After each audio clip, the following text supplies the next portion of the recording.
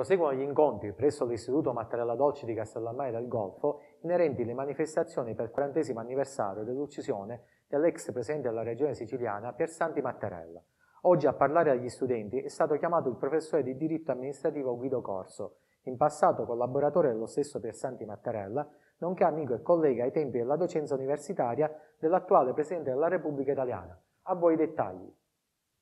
La grandezza di quest'uomo si è distinto nei poco più di dieci anni della sua attività, sia come stile eh, di azione, sia come pensiero dalla generalità dei politici del suo tempo,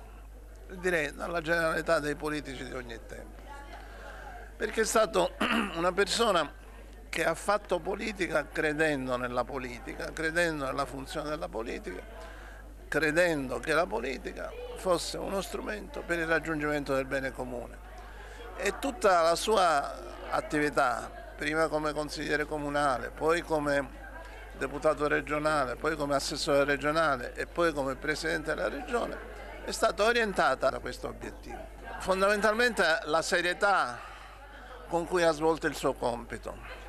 cioè serietà che è legata anche al, al fatto che credeva profondamente nella funzione della politica, cioè dire, lui come, come direbbe Max Weber, ha considerato la politica come un compito, non semplicemente come un mestiere eh, o uno strumento per attirare consensi o un modo per guadagnarsi a vivere. Ha creduto nella politica come una funzione rivolta per gli altri. Ho conosciuto il, il vecchio e grande Bernardo, ho frequentato anche collaborando con lui Piersanti, ma devo dire che l'amicizia più stretta è stata quella con Sergio, l'attuale Presidente della Repubblica, al quale mi ha legato anche un rapporto di colleganza professionale, perché entrambi siamo stati assistenti del professor Pietro Virga e quindi